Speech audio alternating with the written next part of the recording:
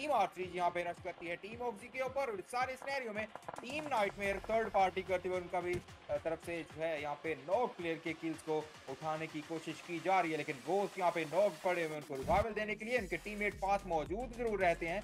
लेकिन नेट की बरसात की जा रही है। टीम ऑक्सी चाहती है इन किल्स को उठाया जाए और इन कंपाउंड की इंपॉर्टेंस को वो जानते हैं कि ये कंपाउंड उनके लिए कितना ज़्यादा अहम रहने वाले हैं। लेकिन नेट यहाँ पे जाएगा बाद तो यहाँ पे नॉक कर दिया जाएगा। बैक मॉली जाती है और मॉली के साथ वाज नॉक हो जाते हैं। लेकिन ऑक्सी के बाकी के प्लेयर्स आगे बढ़ रहे हैं। तीनों के तीनों प्लेयर्स डिफरेंट एंगल से नेट विराट रीजी को बिल्कुल भी अलाउ नहीं किया जा रहा कि इनके साथ फाइट लें लेकिन कोच यहाँ पे टीवीएस रात में दोस्त काफ़ी अच्छी तरह से डीवीएस के साथ दो प्लेयर्स को नॉक एंड कंफर्म कर देंगे। चाका ओ नो 1v1 होता है। दोनों ही प्लेयर्स के काफ़ी ज़्यादा कम